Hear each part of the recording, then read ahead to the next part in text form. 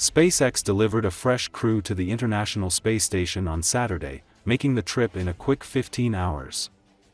The four US, Russian and Japanese astronauts pulled up in their SpaceX capsule after launching from NASA's Kennedy Space Center.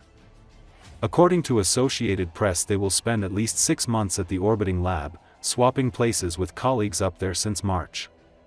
SpaceX will bring those four back as early as Wednesday. Moving in are NASA's Zena Cardman and Mike Fincke, Japan's Kimiya Yui and Russia's Oleg Platonov, each of whom had been originally assigned to other missions. Hello, space station. Fincke radioed as soon as the capsule docked high above the South Pacific. Cardman and another astronaut were pulled from a SpaceX flight last year to make room for NASA's two stuck astronauts, Boeing Starliner test pilots Butch Wilmore and Suni Williams, whose space station stay went from one week to more than nine months. Fincke and Yui had been training for the next Starliner mission. But with Starliner grounded by thruster and other problems until 2026, the two switched to SpaceX.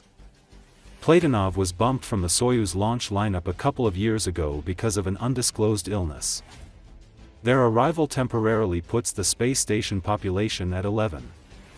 It was such an unbelievably beautiful sight to see the space station come into our view for the first time, Cardman said once on board.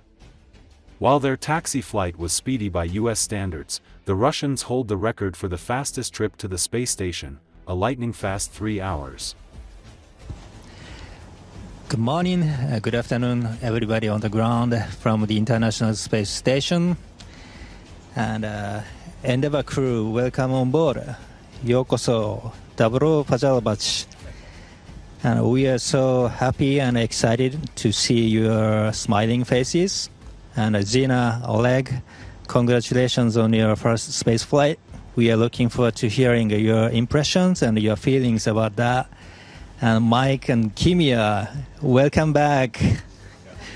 This has been the absolute journey of a lifetime. We are so incredibly grateful to be here. Thank you so much for this warm welcome.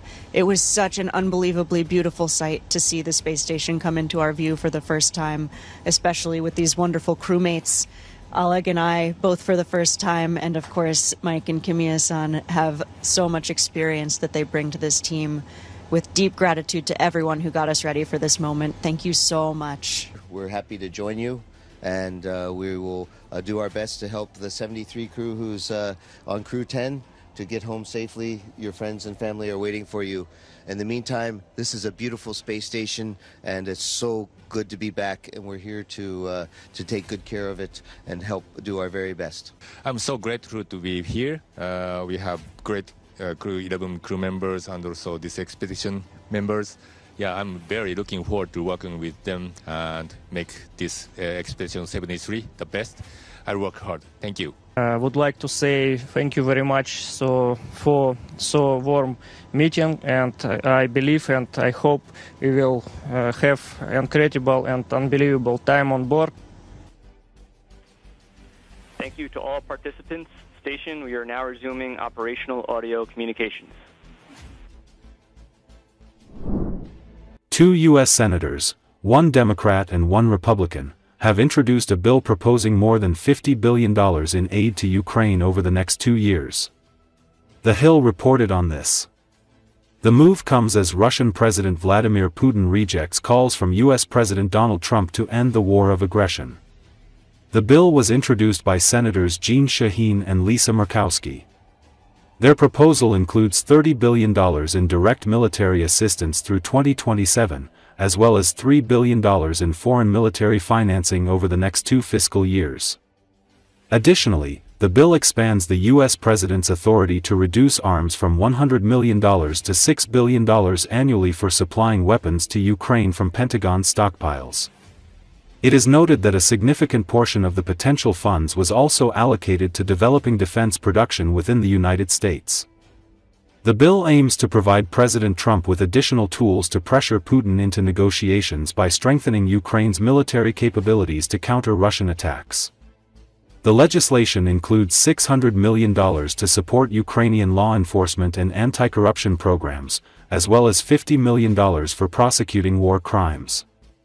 Among other provisions, the bill includes using profits from frozen Russian assets and the transfer of seized illegal weapons. Additionally, it proposes allocating $1 billion for a trilateral UAV initiative between the US, Ukraine, and Taiwan. This initiative involves joint research, development, and production of drones, as well as studying lessons from the Russian-Ukrainian war. This bipartisan bill is a win for America. It supports our defense industrial base, American manufacturers, and workers, all while U.S. military personnel learn from Ukrainian innovations on the battlefield, Shaheen said.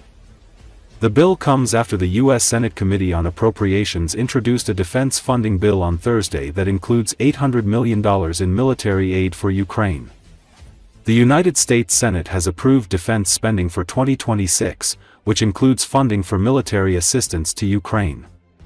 The draft budget provides for the allocation of $800 million for the Ukraine Security Initiative, $225 million for the Baltic Security Initiative, and $119 million for other projects related to European security.